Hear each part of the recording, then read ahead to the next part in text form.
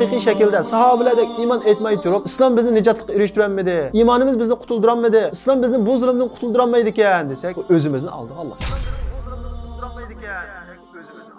iymon etishda sahobalardek iymon etmay turib sahobalar erishgan natijani kutsak va talab qilsak biz xatolashgan bo'lamiz.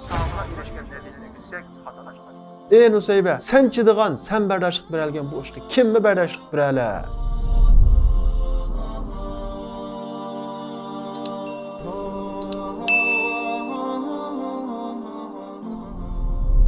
Biz bugun tarixchilar tarafidan ming erga barobar deb ta'riflangan payg'ambarimiz Muhammad alayhissalomning Uhud maydonidagi qo'g'dug'uchisi, shundaqla payg'ambarimiz Muhammad alayhissalom elib borgan jihatlarning hammasiga dugida qatnashgan va shu jihat yo'lida o'zining bir qo'lidan ayrilgan buyuk mujohida sahaba ayol Nusayba binti Ka'b bilan tanishib chiqamiz. Nusayba binti Ka'b Madinlik ayol bo'lib, uning yo'ldoshi va ikki o'g'li payg'ambarimiz Muhammad alayhissalom Madinaga yetib kelishdan ilgari Mus'ab ibn Umayrning da'vati bilan musulmon bo'ldi. Madinadagi musulmon bo'lgan kishilardan 70 necha nafar kishi payg'ambarimiz Muhammad alayhissalom bilan yuz ko'rishish, didorlashish va payg'ambarimizga bay'at qilish maqsadida haj karvoni bilan Makka qarab yo'lga chiqadi. Ularning orasida Nusayba, yo'ldoshi va ikki o'g'li bor edi. Shunday qilib Madinalik musulmonlar payg'ambarimiz Muhammad alayhissalom bilan Aqaba degan joyda uchrashdi va 62 er va ikki ayol payg'ambarimiz Muhammad alayhissalomga bay'at berdi. U ikki ayolning birisi bo'lsa Nusayba edi. Keyin kelib payg'ambarimiz Muhammad alayhissalom Madinaga hijrat qiladi. Madinaga hijrat qilgandan keyin Nusayba, yo'ldoshi va ikki o'g'li payg'ambarimiz Muhammad alayhissalomning bu islom da'vosidagi muhim shaxslarining biriga aylandi. Shundaqla payg'ambarimiz Muhammad alayhissalom ilib borgan jihatlarning hammasiga qatnashdi. Masalan, Uhud urushiga Nusayba, yo'ldoshi va ikki o'g'li, ya'ni bir oila kishilarning hammasi qatnashgan edi. Nusayba mu ayollar guruhining qatorida bu urushga chiqqan edi. Uhud urushida o'qiyotchilar payg'ambarimiz Muhammad alayhissalomning urunlashtirishiga bo'ysunmay, tog'dan tushib ketgan vaqtida mushriklar keyindan hujum qilib musulmonlarni nihoyat ig'ir talafotlarga uchirdi. Mushriklar butun diqqatini payg'ambarimiz Muhammad alayhissalomni o'ltirib o'tishga markazlashtirdi. Bu vaqtda payg'ambarimiz Muhammad Aleyhisselam'ın etrafıda fakat 10 neçe sahabeler qilib qolgan edi. Peygamberimiz Muhammed Aleyhisselam'ın naydi jon tikib qog'davatdi. Bu 10 neçe nafar sahabenin içinde Nusayba ve Nusayba'nın yoldaşı ve iki oğlu bor.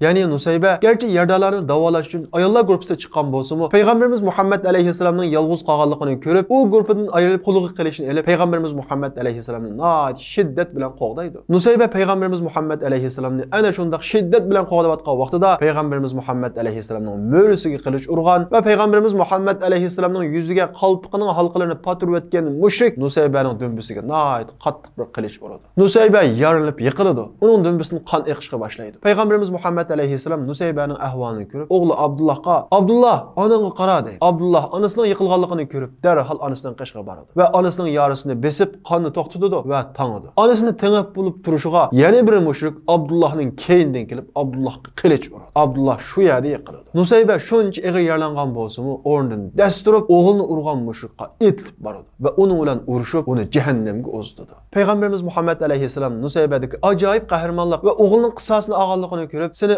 o'g'lining qissasini erishishga muyassar qilgan Allohga hamdlar bo'lsin deb nihoyat xushal bo'ladi. Nusayba yana payg'ambarimiz Muhammad alayhissalomning qishig'iga borib, uni qo'g'dashini davomlashtiradi. Nusayba balisga qilich urgan mushrikni o'ltirayotgandan keyin darhol balisining qishig'iga kelib, uning yorisini tangadi va yorisini tangandan keyin, "Ya bunay inhab fadari bil qavm" ey bolam o'rnidan dastur. Rasulullohni qo'g'da bu mushuklar bilan urush qil deydi. Payg'ambarimiz muhammad alayhissalom nusaybaning yarador turib shundoq ko'rsatgan jasorati va o'g'lim shuncha ig'ir yaralangan bo'lsa-mu sen aram ol. Keyingi chekin demasdan dastur mushuklar bilan urush qil degan holatini ko'rib ey nusayba sen chidigan san bardoshlik beralgan bu ishga kimni bardoshlik berala deb uni maqtab ketdi. Mush vaqtda yana bir mushuk o'g'liga qilich urish uchun yugurib keladi. Payg'ambarimiz muhammad alayhissalom yiroqdan u mushukni ko'rib ey nusayba mushuk kelyotidi deydi. Nusayba qo'liga chabdast bilan qilishni elib u mushrikni jindan judo qiladi payg'ambarimiz muhammad alayhissalom bu ayoldagi qahramonlik bu ayoldagi qo'rqmaslikni ko'rib nusayba qilgan ishni ne ne erlami qilolmaydi deydi. Nusayba va ikki o'g'li nihoyat ig'ir yaralangan holda uhud urushi oxirlashadi musulmonlar nihoyat ig'ir talobatga uchraydi. Payg'ambarimiz muhammad alayhissalom nusaybani oldiga kelib alohida ahvol so'raydi nusayba ey rasululloh bizdan ansirmaslar bizning ahvolimiz yaxshi mening sizdan bir tirikim bor deydi. Payg'ambarimiz muhammad alayhissalom qani aytqin deydi. Nusayba ey rasululloh alloh taologa bir duo duo qilsalar bizni ya'ni mening oilamni jannatda sizlar bilan hamroh qilsa jannatda sizlar bilan hamroh bo'lsam deydi. Payg'ambarimiz muhammad alayhissalom qo'lini egiz ko'tarib allohumma ja'alhum rifaqi fil janna. Ey olloh nusayba va nusaybaning oilasini jannatdagi mening qo'shnilarim qilg'in mening hamrohlarim qilg'in deb duo qiladi. Nusayba payg'ambarimiz muhammad alayhissalomning bu duosini anglagandan keyin dunyoda mening g'am yugidek ishim qolmadi. Bundan keyin man qandaq bir musibat kelsa g'amga soladigan ish kelsa man parvo qilmayman deydi darvaqa nusayba orzusiga yetgan edi. Jannatda payg'ambarimiz muhammad alayhissalom bilan qo'shni bo'lish hamroh bo'lish sharafiga erishgan edi. Bu urushda nusaybaning 13 yili yaralangan edi. Payg'ambarimiz muhammad alayhissalom atisi musulmonlar qo'shinini qaytadan tashkillab mushuklarning keyin qo'llash harakati ilib boradi. Ya'ni hamraul asadga qo'l qilmadi bu vaqtda nusayba man birga chiqaman deb shuncha tamshilgan bo'lsa-mu holini ayt ig'ir yorisini ayt ig'ir bo'lg'achqa bu urushga chiqolmaydi payg'ambarimiz muhammad alayhissalom hamraul asaddan qaytib kelgandan keyin ya'ni mushuklarning keyin qo'llab zarba berish harakatidan qaytib kelgandan keyin birinchi bo'lib tunji bo'lib nusaybaning qashiga kelib uning ahvolini so'raydi nusayba ey rasululloh bizni ansirmisizlar bizning ahvolimiz yaxshi deydi payg'ambarimiz muhammad alayhissalom nusaybaning ahvolining yaxshilanganligini ko'rib nihoyat xursand bo'ladi ko'ngli aromiga tushadi payg'ambarimiz muhammad alayhissalom uhud urushidagi nusaybaning botirligini ig'izdan tushirmay sahobalarga to'xtamay so'zlab beradi payg'ambarimiz muhammad alayhissalom sahobalarga u kuni men o'ng tarafim tarafimga qarasammi nusaybani ko'rdim so'l tarafimga qarasammi nusaybani ko'rdim u meni qo'g'dash uchun nihoyat shiddat bilan urush qilyotdi deydi. Undan keyin payg'ambarimiz muhammad alayhissalom bani qurayzaga urush ochgan vaqtida nusayba bu urush qilma payg'ambarimiz bilan birga chiqadi undan ya'ni hijrining oltinchi yili payg'ambarimiz muhammad alayhissalom makkaga umr qilish uchun bir qancha sahobalar bilan makkaga yo'lga chiqadi bu vaqtda nusayba payg'ambarimiz muhammad alayhissalom bilan birga yo'lga chiqadi mushuklar payg'ambarimiz muhammad alayhissalomning oldiga chiqib yo'lni to'sadi payg'ambarimiz muhammad alayhissalom mushuklar bilan suhbatlashish uchun hazrati osmon Osman'ı avatidi hazrati osmon mushuklar bilan suhbatlashib makkaning ichiga kirib ketib chiqmaydi Bir kun ötüdü, ikki kun ötüdü. kun uzargan sari mushuklar hazrati osmonni o'ltirib o'tibdi ya'ni qasdlab o'ltirib o'tibdi degan bu xabar tarqalışqa boshlaydi payg'ambarimiz muhammad alayhissalom andishiga tushadi va agar osmonni öldürüb ötən bolsa, osmonning qisasını olmay makkaning zolim müşriklərlə bilan urushmay turib hargiz madinaga qaytmaymiz o'lgan qadar urush qilamiz deb sahobalarning hammasini bir daraxtning ostiga to'playdi va sahobalardan agar makka müşrikləri, makka zolimlari xiyonat qilib osmonni o'ltirgan bolsa, bolsa, ölümge bana bayat kılamsılar deydi. Yani ölgen kadar men bilen uruş kılışkı bayat kılamsılar deydi. Sahabla bes besli Peygamberimiz Muhammed Aleyhisselam'a bayat kıladı. Bu vakitta Nusaybe mi?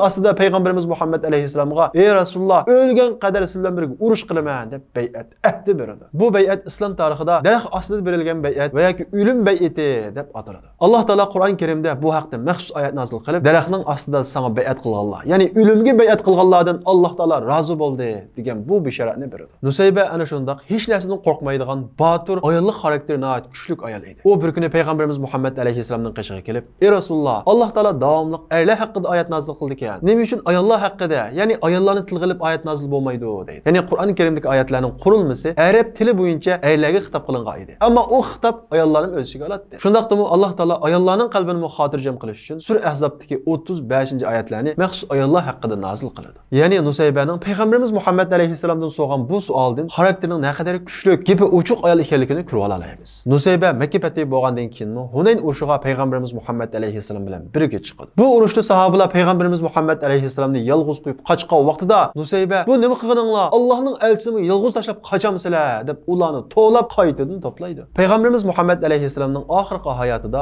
yamamining boshlig'i musaylama o'zini payg'ambar deb e'lon qiladi. Payg'ambarimiz muhammad alayhissalom uni bu ozg'unlikdan yenish uchun nusaybani o'g'li habibdan xat avatidi musaylama Kəzzab texmi həddini eşi Peyğəmbərimiz Muhammed əleyhissalamın elchisi bo'lgan Həbibni, yəni Nusaybənin oğlunu bağlaydı və onu qiynab muhammadni inkar qilib, "Mening payg'ambar ekanligimni e'tirof qilsa" deb zo'rlaydi. Lekin Habib shuncha qiynalgan bo'lsa-mu, iymondan asla yanmaydi. Musaylama oxiri Habibni putqo'llarini kesib, poch-poch qilib, noati vahshiylarcha o'ldirib o'tadi. O'g'lining vahshiylarcha o'ldirilganligini anglagan Nusayba "Limithli hada a'tattuhu" Men o'g'limni mana mushundaq ish uchun tarbiyalagan edim. Ya'ni Alloh yo'lida mana mushundaq shahid bo'lish uchun tarbiyalagan edim. Men bunun qayg'urmayman. Men sabr qilaman. Alloh bilan qasamki, men o'g'limning qisosini chuqum olaman deb Allohga qasam qiladi. Uzun o'tmay payg'ambarimiz Muhammad alayhisalom vafot topadi. Payg'ambarimiz Muhammad alayhisalomning vafotidan keyin Hazrat Abu Bakr bu kazzob qarshi urush ochadi. Bu urushqa Nusayba shuncha qiyib qolgan, shuncha yashinib qolgan bo'lsa-mu, Hazrat Abu Bakr bilan birga chiqadi. Va shundaqla bu urushda ajoyib qahramonlikni ko'rsatadi. Uning badanidan 11 yeri yaralanadi va